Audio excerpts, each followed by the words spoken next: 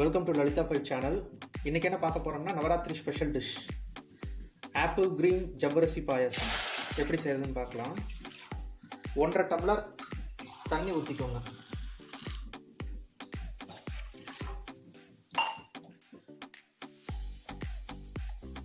தண்ணி ஊற்றிக்கோங்க இப்போ வந்து அதில் வந்து ஒரு ஒரு க ஒரு கையளவு ஜவ்வரிசி போட்டுக்கலாம். ஜஸ்ட் ரெண்டு டம்ளர் வர மாதிரி தான் செய்கிறேன் ஒரு கையளவு ஜவ்வரிசி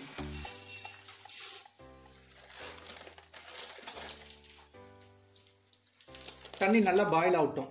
சின்ன பாத்திரத்தில் உங்களுக்கு அஞ்சு முந்திரி பருப்பு பத்து திராட்சை மூணு கிராம்பு அஞ்சு ஏலக்காய் ஒரு சின்ன பட்டை இதெல்லாம் போட்டு நெய்யில் வந்து வணக்கி வச்சுக்கோங்க. வணக்கி எடுத்து வச்சுட்டேன். அதை கடைசியில் ஆட் பண்ணணும். எடுத்து வச்சுட்டேன். சரி நல்லா பாயில் ஆயிடுச்சு அதை அப்படியே அப்சர்வ் பண்ணிடுச்சு அந்த வாட்டரை இப்போ வந்து லைட்டாக வந்து apple green colour colour add பண்ணிக்குவோம்.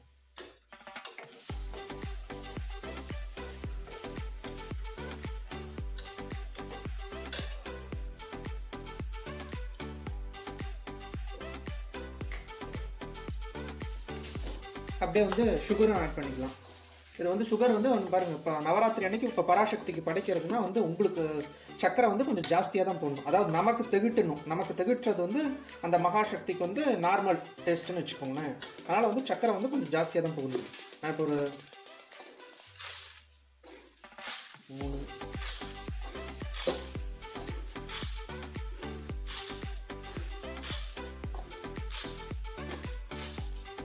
ஒரு பத்து டீஸ்பூன் பத்து பத்து ஸ்பூன் வந்து சர்க்கரை ஆட் பண்ணிட்டேன்.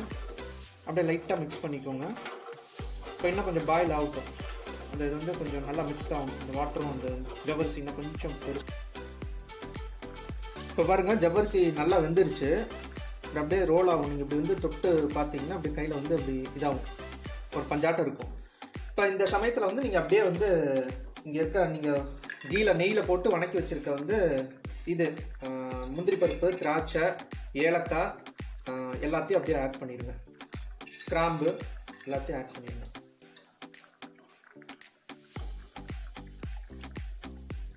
சும்மா வாசனை சூப்பர்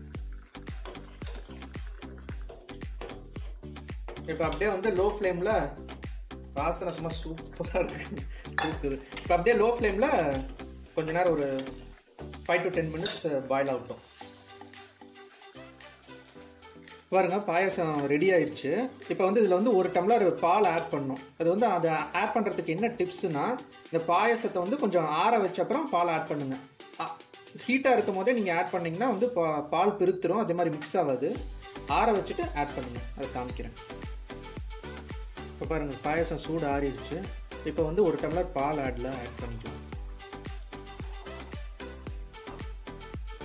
முக்கால் டம்ளர் டு ஒரு டம்ளர் அதை அப்படியே வந்து கிண்டிக்கோங்க.